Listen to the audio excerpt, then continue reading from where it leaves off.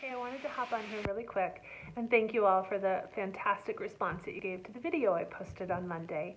Um, it's kind of my goal to perhaps share some videos with you and your family as you're kind of semi-quarantined or self-quarantined in your home, um, just to help you pass some time and use some creative energy and uh, create together. So I am planning on continuing doing videos every couple days, um, and I have a new video for you today. Uh, we're going to be doing 3D hands, which is a really fun project. I would let you know that this project is probably um, for upper, upper elementary, middle school to high school. Uh, it's a little challenging. It can be done with um, some supervision and some guidance. Um, probably most elementary age kids could do it as long as moms and dads and older siblings were kind of helping out with uh, laying down the foundation for it. That said, it's kind of a two-part video because I do plan on doing um, something similar in my next video that's aimed more at elementary to preschool age.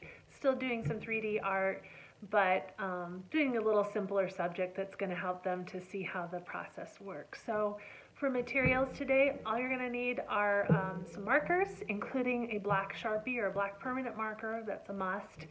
Uh, and you'll need paper and you'll need a pencil and you need your hand. So I hope you enjoy it. Um, if you do the project with your family, I would love it if you would post it on my Facebook page. Um, that's artwork by Julia Kulish. Love to see all of the many people who left such really fantastic comments and great pictures of them and their families as they did the last project together. It just really made me so happy. So thank you guys and enjoy. Okay, you guys, for today's project, um, we're gonna make a 3D hand. You may have seen this um, lots of different places. Pinterest has uh, pictures of it on there. It's just a fun project that's looks complicated, but with a few little tips, I think you can um, do this fairly easy, easily. It just takes a little getting used to. So you'll need some paper, a pencil, and some bright colored markers. Um, it doesn't matter what color the markers are. You can use crayons also. Markers just seem to be a little brighter. And then um, in amongst those, you will need some kind of a, of a Sharpie or a permanent marker that is black. So that, that's pretty important. So you're gonna lay your hand down on your paper. Get my ring out of the way here.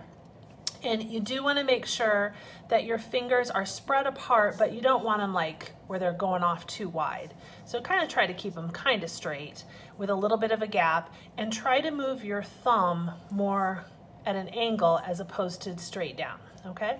So down like this, I'm gonna come down here, draw my wrist, do the outline of my hand,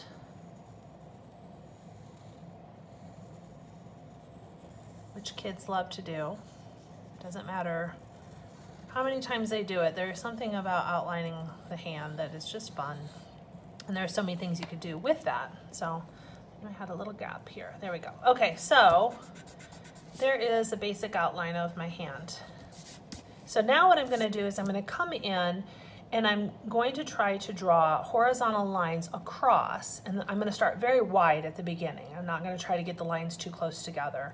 Um, I'm gonna draw them across and every time my line bumps into my hand or my fingers, I'm gonna need to bring it up into kind of what's like a little hump line. So it's not gonna be straight across. You don't wanna just go straight across. Be fun, and it'll look nice, but it's not gonna be 3D. So I like to start like about halfway up the fingers. And let me tilt my thing here a little bit. Try to get it as straight as you can and then stop and lift up your pencil as soon as you get to your finger so that you don't keep going thinking you're drawing a hump line when really you're not. There's something about stopping that makes it official. So go to the finger then and draw a nice little hump, come back down as equal as you can to where that first horizontal line was, and then make another horizontal line. Again, kind of check it. Doesn't have to be perfect, but try to get it as straight as you can. I stop here, lift up my pencil, do another little hump.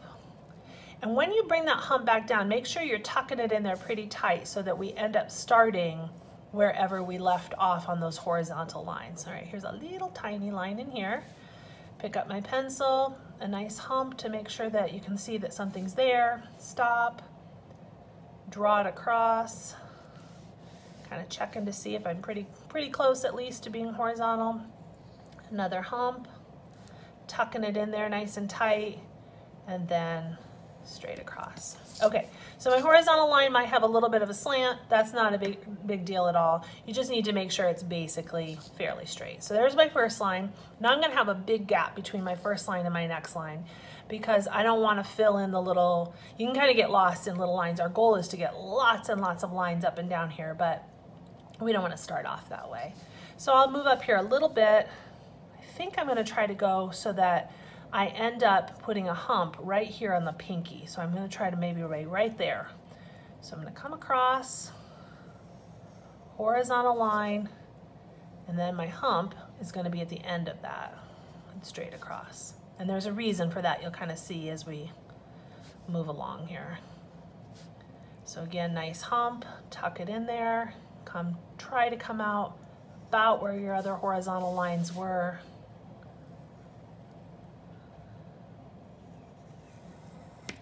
And even looking at this, I don't know if you can see it from the camera or not, but even looking at this, it almost looks like there's like this ribbon laying across my hands there, okay? So now I'm gonna jump up all the way. I'm gonna try to get one that's gonna make it come right here at the top of this finger. So I might have it hit right here. So I'm gonna draw a little dot there to remind me that's kind of where I'm want my horizontal line to go. Come out this way. Horizontal line over, hump, and do draw the hump in. I kind of made it wide, don't know why I did that. Just got a little crazy there for a moment. There we go.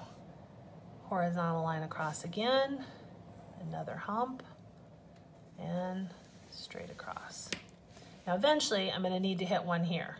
So I'm gonna go ahead and stick my line in here now. It's gonna have to hit right about here. And I'll just draw little dots kind of across on either side so it shows me where my horizontal line should start. Okay, let's see how close we get. So I'm gonna go all the way across. Oops, I'm not quite on there, that's okay. Up, straight across, another hump, straight across, perfect. Tip, tip of my finger. And finally I have one more right here. So I'm gonna want it to hit right about there, which is gonna be a little bit of a tight line, but that's okay.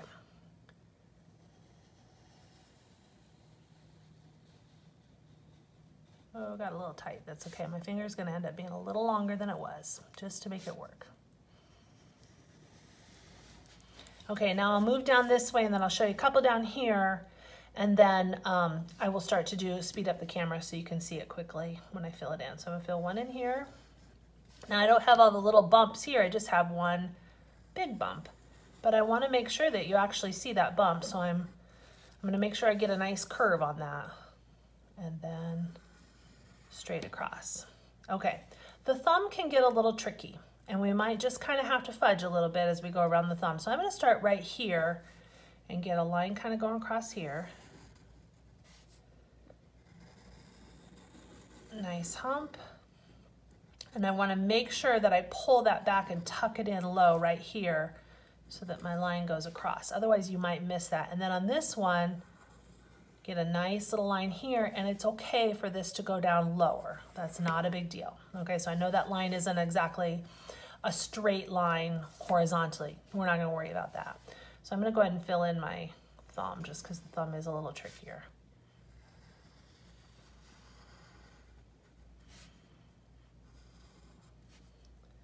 Nice hump, tuck it in and come out.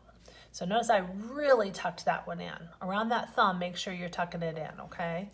And then I do, I would really like to get one that's gonna go over the edge because I do wanna see a little bit of um, a hump line form here. So the only way I can get it in is right here. So I'm just gonna go across here. It's gonna be skinny, that's okay. That's how they're all gonna look in the end anyway. Nice hump that follows the same pattern. Tuck it in, bring it across, over the edge and down, okay? And I'm gonna continue filling these in until they are all um, completed. I feel like that line didn't quite get tucked in as much as I'd like. At any time, just stop and kind of pause and look at your lines and make sure they're looking, looking right and make any adjustments that you need to make. So I'm gonna stop the camera and speed it up a little bit and finish it up and then we'll come back and talk about what to do after that.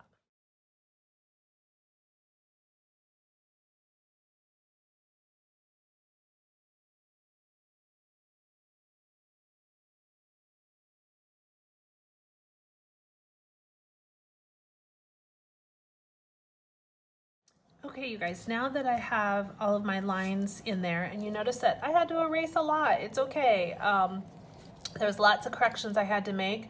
One, because those of you who know me well know I don't draw straight lines very well. It just is one of those things I'm not very good at it.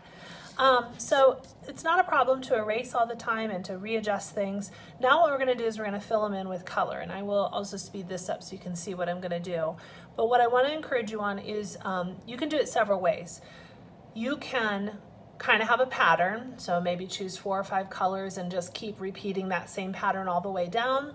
You can do it in um, colors that are very similar. For instance, you could do all warm colors, yellow, oranges, reds, um, thing, pinks, things like that. Or you could do all cool colors, greens, blues, um, some purples, um, things like that.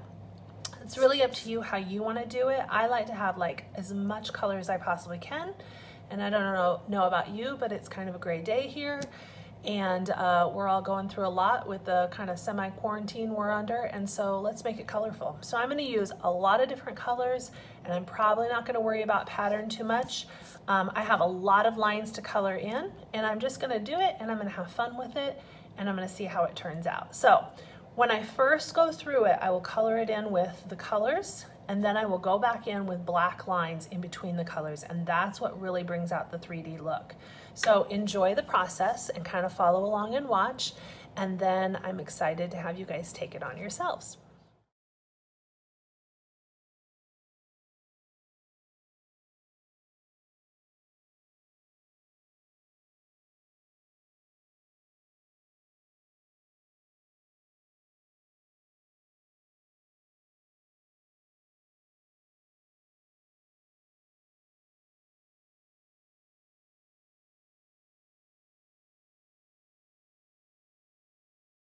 Okay, you guys, well, that is the completed picture.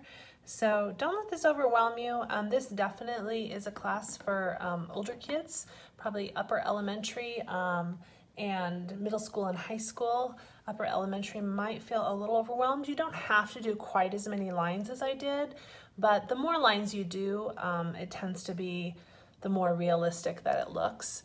So um, play around with it. I am going to be following this up with a simpler version of this for elementary and younger that I think will be helpful. So um, look for that video. It should be coming out here soon and it's a fun one too. But give this one a try. Help of mom and dad. You never know what kids can do. They seem to rise to the level of our expectation. So I wish you all well. I hope everyone is healthy where you're at and I hope you're enjoying your time with your family.